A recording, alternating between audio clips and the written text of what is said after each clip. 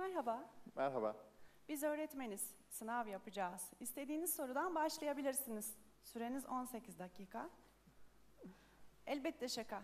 Sanırım sınavda olan bizleriz çünkü kopyalarımızı hazırladık. Evet, biz Ali Bey'in de anlattığı gibi 2005 yılından beri bisikletle seyahat ediyoruz. Şu ana kadar 17 ülkede pedal çevirdik ve yaklaşık olarak 26 bin kilometre yaptık. Ama gezilecek ve görülecek çok yer var tabii ki. Çok çeşitli sorular geliyor böyle bir şey yapınca. Ayaklarımıza kara sular inmiyor mu? Tibet çınarı nasıl uyutuyoruz? Neler yapıyoruz? Ne yiyoruz?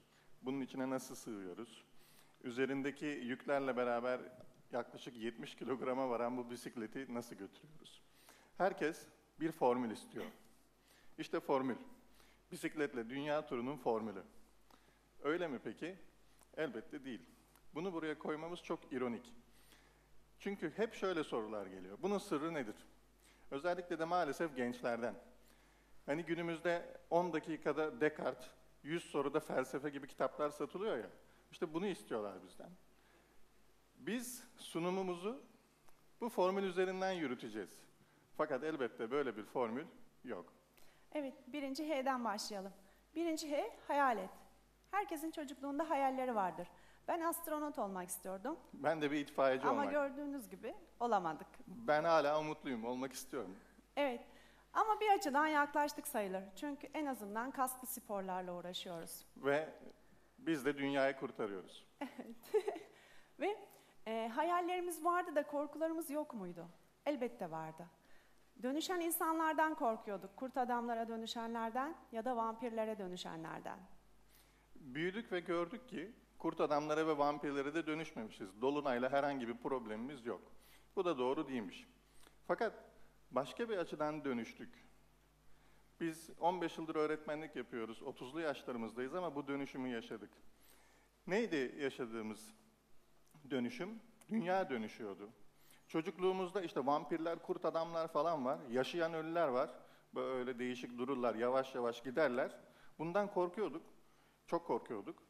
Büyüdüğümüzde gördük ki yaşayan ölüler yok. Ölmeyecekmiş gibi yaşayanlar var. İnsanlar acayip hızlılar. Felaket bir hızla yol almaya devam ediyorlar. Ve e, kutuların karşısında yaşıyorlar. Neler dönüştü? Çocuk yetiştirme tarzımız dönüştü. İletişim tarzımız dönüştü. Çok hızlı internetlerimiz var ama gerçekten sohbet ediyor muyuz? Bunu herkes birbirine soruyor. Evet, gerçekten de kutulara hapsolmuş durumdayız. Bazen dört duvar arasındaki bir kutuda, bazen de o kutunun tam karşısındayız.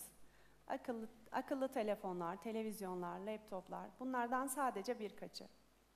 Bu konuda öğrencilerimizin velilerine hep örnek olmaya çalıştık. Çocukları bunun karşısından kaldırın, doğaya çıkartın, dışarıda gezdirin falan. Herkes bize aynı soruyu sordu ve şu yorumda bulundu. Evet, zor olmuyor mu? Sizin Diyorlardı. çocuğunuz, sizin çocuğunuz olsun da görelim bakalım. Bizim de çocuğumuz oldu ve biz Tibet Çınar olmadan önce hep şunu düşündük. Biz çok hareketli bir yaşam süreceğiz. Kutuların arasına sıkışmayacağız. Herkesin malumu zaten evrende hareketsiz, çerçeveler içine alınmış, kutuların içine sıkıştırılmış hiçbir şey yok. Galaksiler, yıldızlar, atom, çevresindeki elektronlar, her şey dönüyor, her şey döner. Bazen de erkekler kadınların etrafında döner. Evet, birincisi hayalimizi gerçekleştirmiştik. Gerçekten de biz bu maceraya bir adım atmıştık. Ama devam ettik. Ve yaşam tarzımızı dönüştürmeye başladık. Dün Gizem'in de anlattığı gibi daha küçük bir yaşam kurmaya çalıştık. Biz de çöplerimizi ayırıyoruz. Her ne kadar belediye ayrılmış çöplerimizi almıyor zaten. Biz de daha az alışveriş yapmaya çalışıyoruz. Biz de bisikleti kullanıyoruz. Evet. İkinci H'miz, formülü lütfen hatırlayın, sınav olacaksınız en sonunda. Harekete geçmek. Harekete geçtik. Nasıl oldu bu? 2005 yılıydı. Biz öğretmeniz, iki ay yaz tatilimiz var. Herkes buna çok imrenir. biraz kıskandırayım. Ve biraz kitap kurdu durumunda geçiyordu. Ne yaptık? Şöyle bir şey okudum ben. Dünya bir kitaptır. Gezmeyenler sadece bir sayfasını okur yazıyordu. Bu da kitapta yazıyordu. Yani kitap diyor ki beni bırak dışarıya çık. Biz de dışarıya çıktık. Hemen harekete geçtik. Ben İstanbul'a gittim. iki tane bisiklet aldım. En yakın mağazadan çadır aldık, tulum aldık. Ve Toros Dağları'na vurduk kendimizi. Elbette çıkamadık. İttirdik, ittirdik. En son Denizli, Muğla, Antalya turu yaptık. İlk turumuzdu. Çok büyük aksilikler oldu. Şurada gördüğünüz çadırın sauna özelliği olduğunu keşfettik Ağustos ayında. İçinde böyle terliyoruz. Mat ikinci günü delindi ve kaba etimizin kıymetini anladık. Evet ama yılmadık. Yola devam ettik.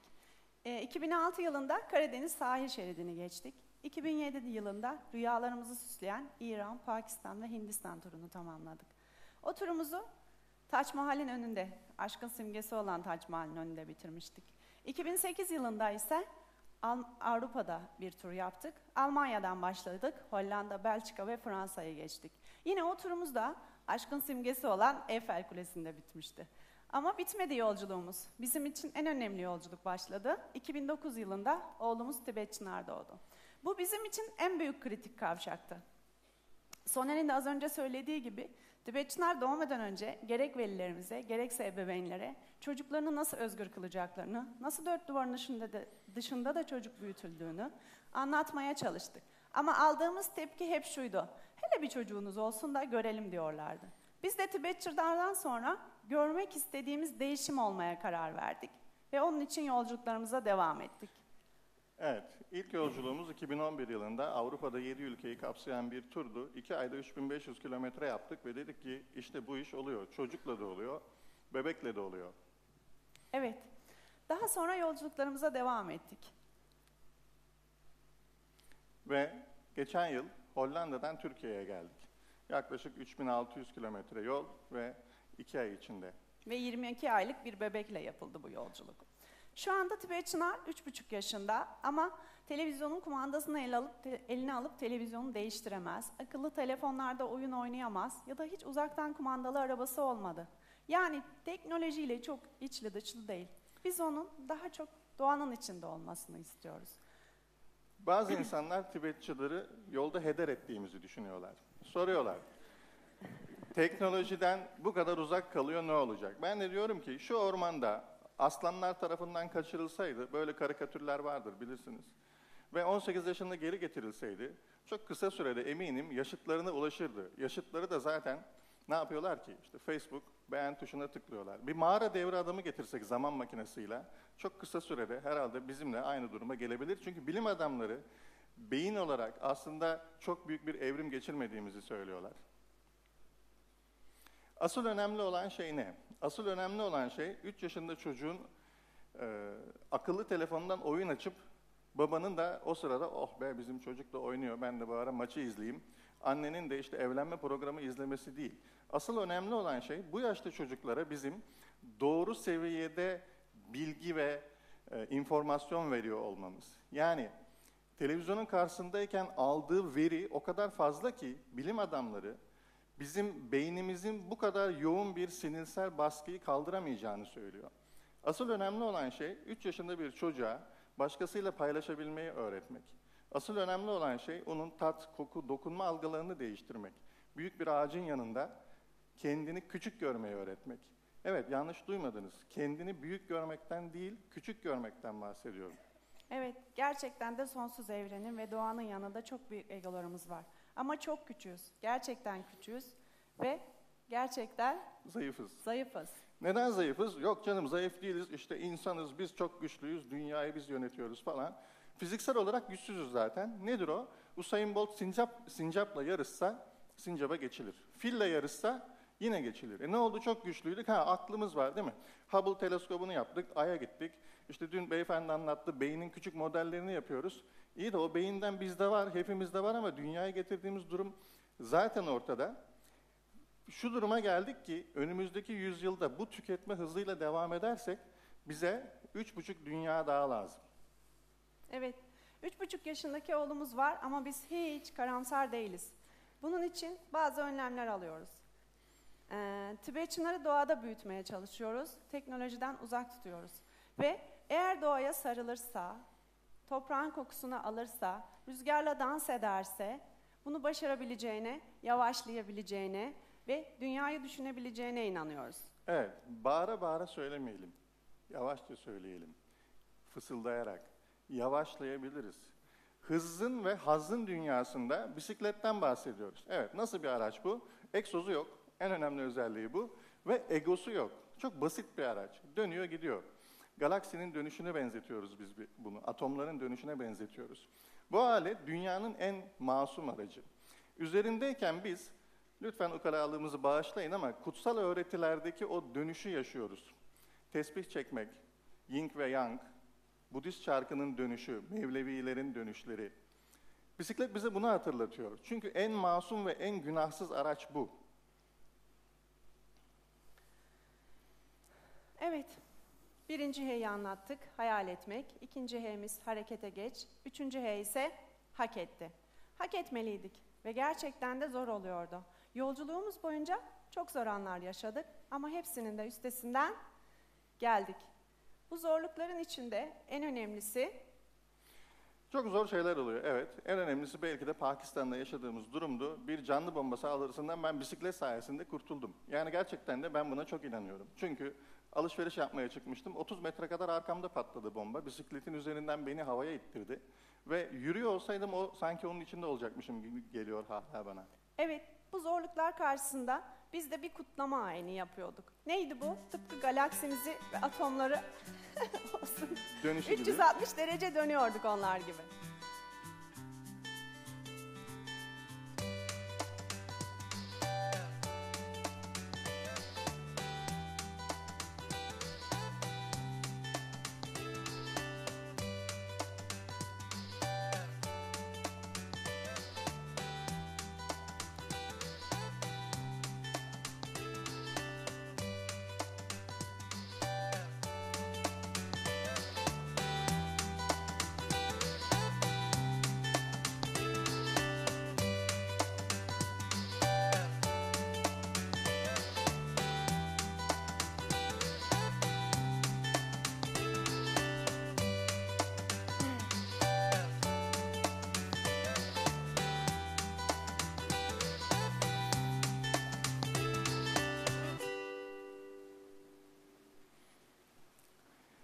Son H'miz hayret etmek. Formüldeki yerine koyarsak. Bize hayret ediyorlar, biz bir sürü şeye hayret ediyoruz. Tibet Çınar'la beraber doğaya hayret ediyoruz. Doğadaki sakinliğe, dinginliğe hayret ediyoruz. Formülün sonucunda bir H daha ortaya çıkıyor. Dedik ki aslında böyle bir formül yok ama böyle yan yana dizince de çok hoş oldu değil mi? Bir sürü H'ler. Sonuç kaç çıkıyor? H'leri toplayıp eşittir hayatın yanına yazarsak üç buçuk çıkıyor. Sunumda da birkaç tane üç buçuk vardı. Biz öğretmeniz diye başlamıştık. Öyle bitirelim. Üç buçuğu dört yapalım. Bu konuda Neyzen Tevfik şöyle demiş. Hayat üç buçukla dört e, arasındadır. Şöyle demiş. Hayat üç buçukla dört arasındadır. Ya üç buçuk atarsınız ya dört, dört dörtlük, dörtlük yaşarsınız. yaşarsınız. Biz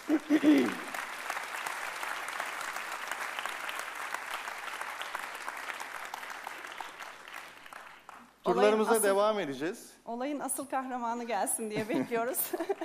gel kuşum gel gel gel. Gel.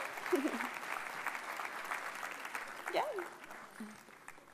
Aferin sana. Evet. İnebilirsin tabii. Evet. Teknolojiden uzak kalan zavallı bir çocuk işte.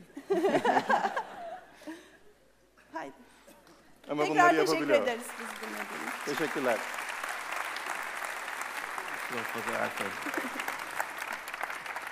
evet. Bunun üzerine söyleyecek fazla laf yok. Çağırdın geldim. Daha sonra sözü söylemişsin. Ne yapacağız Ee, şimdi? Önemli kavşaklarda 360 yapıyoruz dedik. Kutunun arasında kalmamaktan bahsettiğimiz için. Şimdi biz Ali Bey'le beraber, süremiz de var onu da düşündük. 360 yapacağız. Gidiyor ya. Dola, gezginci galiba. Özgür bir çocuk. Biz bile söz geçiremiyoruz. Büyüdüğünde o da doğaya söz geçirmesini istiyoruz. Onunla uyuşsun istiyoruz. Evet kısa bir 360 yapalım. Çünkü bizim için kritik bir kavşak burası. Ne yapıyoruz? Okey. Dönüyor muyuz? Evet, evet. hep birlikte döneceğiz Ali Bey. Okey. Evet.